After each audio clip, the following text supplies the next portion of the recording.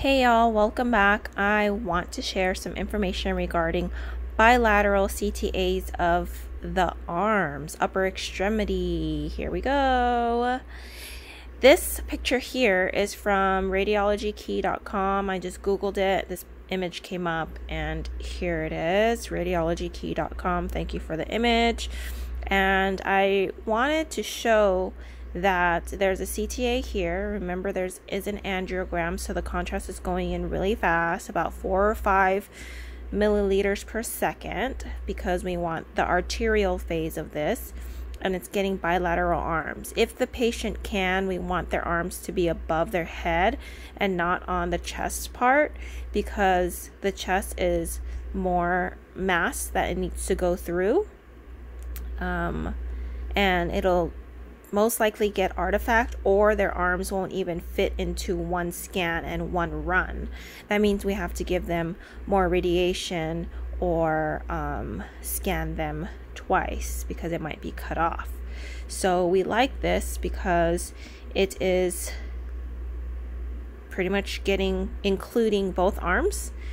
Um, you can see the blood flow going all the way towards the hand and it's beautiful. But my whole point to this, and I wanted to share because I did run into an issue before. So, where does the contrast go if we're looking at both arms? So, from what it looks like here, the IV was, oops, the IV was probably on this side.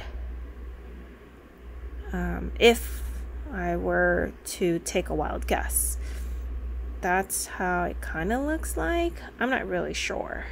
But the whole point of this is because I ran into the situation. A doctor ordered a scan.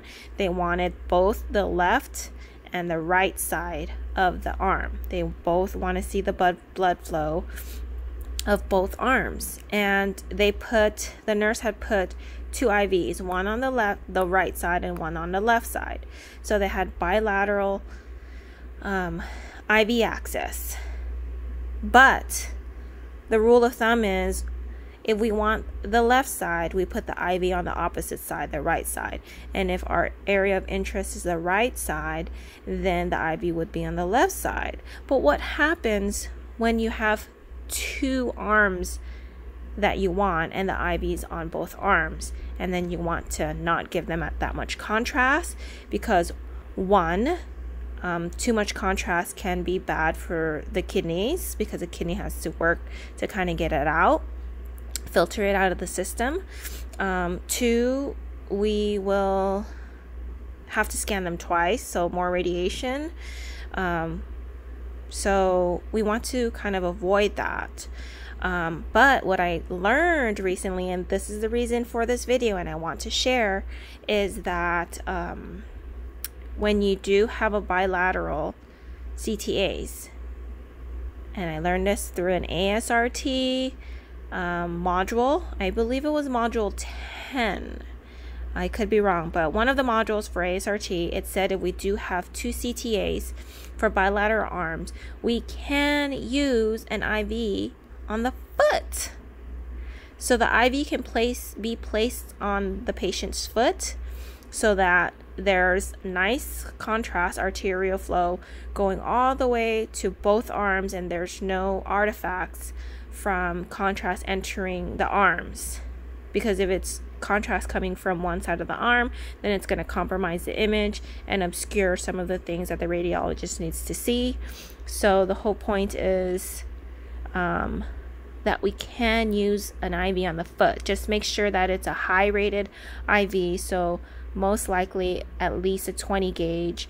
And you might want to delay the contrast a little more because it's going to take time to go from the foot all the way up and hit the arm. And you want your our our um, locator or SNV scan and view to be like where the elbow is. Um, and of course if there's any artifacts and stuff between that then you don't want to get it. But yeah that's what I wanted to share. We can put an IV on the foot for a bilateral CTA of the arm. Voila.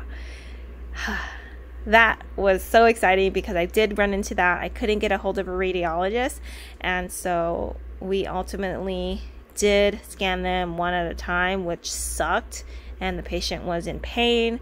The patient couldn't bring their arms up. But now I know that if they do have an interest of bilateral arms, IV can go on the foot. Yes.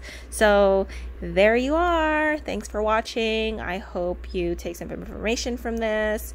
Again, share your thoughts if you have any. If I am incorrect in something, please let me know. If there's something you want to add, please leave it on the comment. And of course, follow me on my regular YouTube channel, Khammany on Earth, or my Instagram at kamani.d12. Thank you. Toodles. Noodles. Peace.